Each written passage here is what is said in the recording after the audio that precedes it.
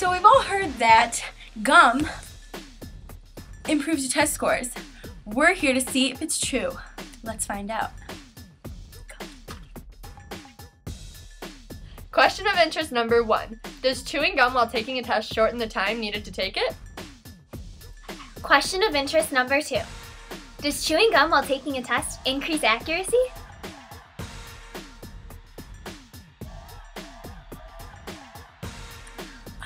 Oh, no. No. No. No? Oh, okay. No. No. Sometimes I think I should participate in stats projects, but then I think, hmm, better not. We selected our subjects by asking as many students from Groves as we could if they would participate in our experiment. 55 people agreed to participate only after we offered them candy and cookies. We are aware that our subject selection was not completely random, however, we performed a completely randomized experiment. We created two versions of a multiplication test. Each test had 10 problems, each problem consisting of multiplication between two numbers from 11 to 30. We used the random integer generator on our calculator to give us the pairs of numbers for each problem. Then we randomized which test each subject would receive first, either form A or form B. To do this, we used the random integer generator again. Once we had all the tests randomized, we distributed them in the randomized order. We also needed to randomize during which tests our subjects would chew gum. To do this, we distributed cards from a deck that had been shuffled seven times. How many times? Seven times! To each subject when they came to take the tests. If they had a red card, they would chew gum during their first test. If they had a black card, they would chew gum during their second test. We decided to perform two separate matched pairs t-inference tests because we had each subject take both versions of the multiplication test. The first test will examine the time difference between tests for each subject. To find each subject's time difference, we subtracted their time without chewing gum from their time with gum. The null hypothesis is that mu is equal to zero. There is no difference in the subject's time when chewing gum and when not chewing gum. The alternate hypothesis is that mu is less than zero. The difference in the subject's time when chewing gum and when not chewing gum is less than zero. Their time when chewing gum was less than their time when not chewing gum. The assumptions for a t-test are independence and normality. We satisfied the independence assumption by conducting a randomized experiment. We satisfied the normality assumption by looking at the histogram for the time differences. We saw that the distribution of the time differences was relatively normal. I mean, I guess that's kind of normal. We found that the t-stat was negative 1.71. The degrees of freedom was 54, which is one less than our sample size of 55. After conducting the t-test, we found that the p-value was 0.046. So in conclusion, we have enough evidence to reject the null hypothesis that there is no difference in the subject's time when chewing gum and when not chewing gum. Our p-value of 0.046 is less than 0.05. Therefore, it is statistically significant and our outcomes are not likely due to chance.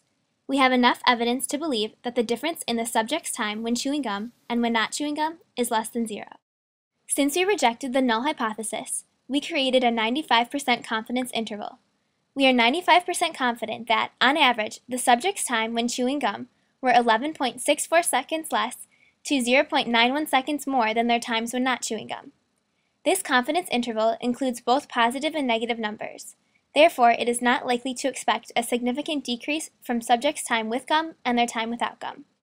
The second t-test will examine the score difference between the tests for each subject. To find each subject's score difference, we subtracted their score without chewing gum from their score with gum. There were 10 problems, therefore, the scores were out of 10. The null hypothesis is that mu is equal to zero. There is no difference in the subject's scores when chewing gum and when not chewing gum. The alternate hypothesis is that mu is greater than zero. The difference in the subject's scores when chewing gum and when not chewing gum is greater than zero. Their score when chewing gum was greater than their score when not chewing gum. The assumptions for a t-test are independence and normality. We satisfied the independence assumption by conducting a randomized experiment. We satisfied the normality assumption by looking at the histogram for the score differences. We can see that the distribution of the score differences is normal. OMG, that's so normal. We found that the t-stat was negative 0.22. The degrees of freedom was 54, one less than our sample size of 55. After conducting the t-test, we found that the p-value was 0.588. In conclusion, we do not have enough evidence to reject the null hypothesis that there is no difference in the subject's scores when chewing gum and when not chewing gum. Our p-value of 0.588 was definitely not less than 0.05. Therefore, it is not statistically significant and our outcomes were likely due to chance. We do not have enough evidence to believe that the difference in the subject scores From when chewing gum t-test, and when we not found that chewing we gum have is enough greater than evidence to conclude that the time it took to complete the test while chewing gum is generally less than the time it took to complete the test without chewing gum. However, our p-value of 0.046 is close to our significance level of alpha equals 0.05. This means that we do not have strong evidence to reject the null hypothesis. After conducting the second t-test, we did not have enough evidence to conclude that there is a significant difference in the score on a test while chewing gum compared to not chewing gum. Our p-value of 0.588 is much higher than the significance level of alpha equals 0.05. This means that we do not have any evidence that chewing gum is associated with increased accuracy. Finally, some of the results that we found were statistically significant but not practically significant.